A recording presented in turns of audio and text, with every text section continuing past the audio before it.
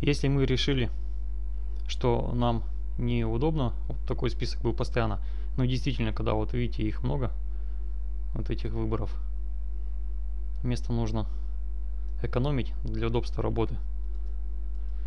Вот, мы давайте поменяем вот это поле. Так, идем опять обратно.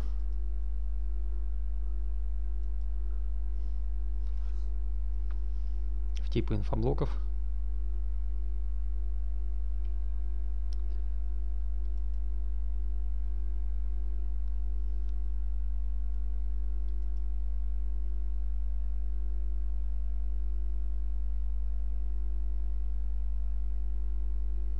Также идем в свойства.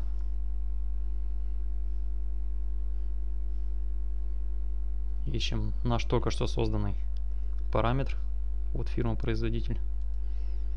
Заходим в редактирование. Так, здесь у нас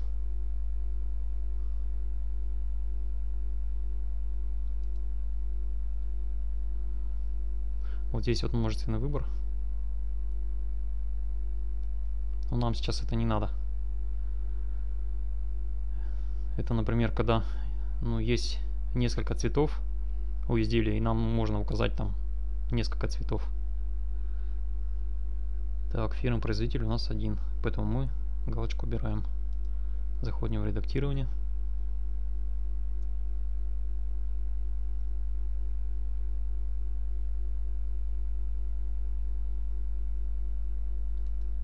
Умном фильтр.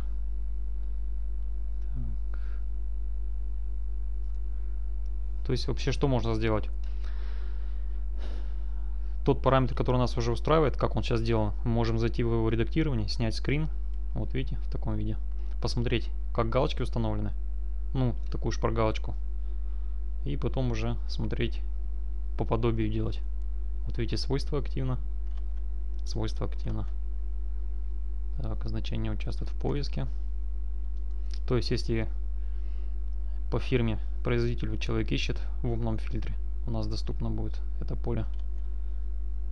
Так, здесь галочку ставим. Ну и здесь галочки у нас есть. Сохранить.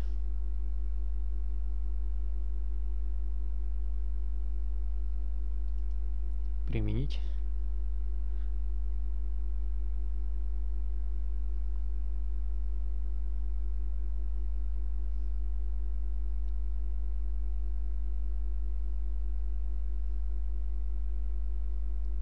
Сохранить.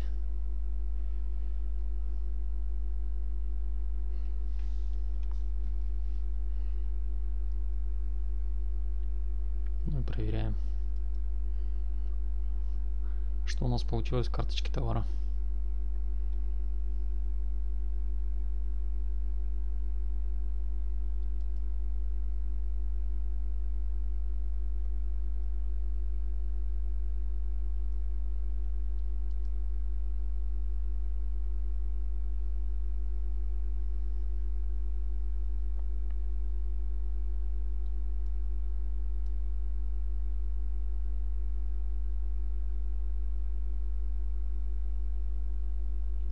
Вот видите, фирма-производитель. Сейчас у нас вот такой выбор получается из списка.